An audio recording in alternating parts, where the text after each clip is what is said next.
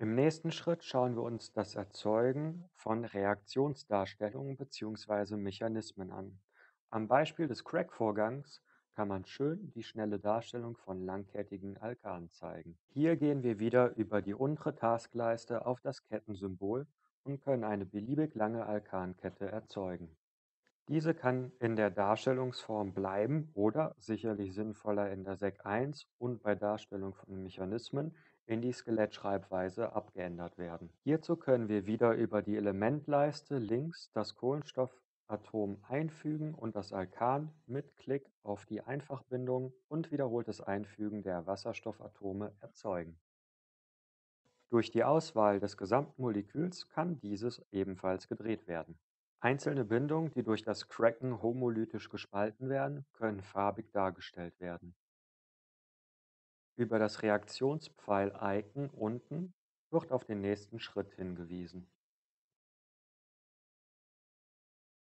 Möchten wir nun aus dem Ethan ein Ethylradikal erzeugen, ist es wichtig, dass wir zunächst über das Ladungssymbol unten das Radikal auswählen und dieses mit einem Klick auf das Kohlenstoffatom an dieses setzen. Nun gibt das Programm über den roten Rahmen eine Fehlermeldung bezüglich der Bindung an.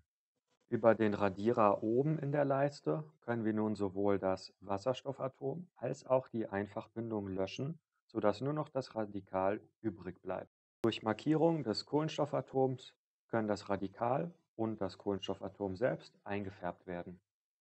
Ein weiteres wichtiges Feld zur Nutzung des Editors ist die Erstellung von Reaktionsmechanismen. Wir können wieder sehr schnell ein Alken erzeugen und die Doppelbindung einfärben. Wählen wir nun über das Periodensystem links das Element Brom aus und tippen auf die Arbeitsfläche, erhalten wir Bromwasserstoff. Auch hier kann man durch Einfügen der Einfachbindung und des Wasserstoffatoms ein Molekül in der Lewis-Schreibweise darstellen. Die freien Elektronenpaare des Broms können nun über das Ladungssymbol hinzugefügt werden. Durch das Einfügen der Mechanismenpfeile und farblicher Änderung dieser wird den Schülerinnen und Schülern deutlich gemacht, welche Vorgänge genau stattfinden.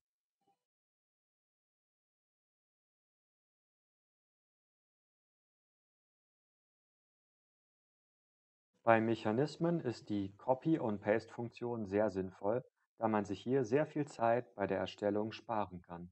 Um das Carbenium-Ion darstellen zu können, müssen wie auch bei den Radikalen zunächst alle Bindungen sichtbar gemacht werden und die positive Ladung an das Kohlenstoffatom gesetzt werden.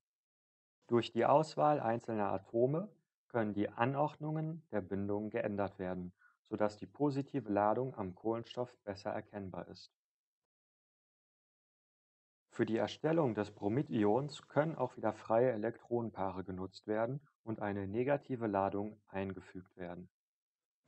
Über die Löschung des Wasserstoffs mit Hilfe des Radierers verschwindet dieses und der weitere Schritt kann dargestellt werden. Wir wählen jetzt einen Mechanismuspfeil aus, setzen den in unseren Mechanismus rein, können diesen noch einfärben und wählen über das Periodensystem links unten Brom aus, welches wir nun an das Kohlenstoff addieren können.